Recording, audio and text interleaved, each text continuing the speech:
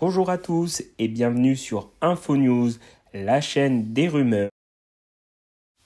Claude Lelouch fête un anniversaire de ses 87 ans, avec notamment la venue inattendue de Jean Dujardin en solo, sans Nathalie Péchala et ni sans ses filles.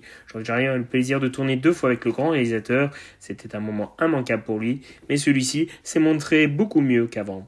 Merci à tous d'avoir aidé la vidéo.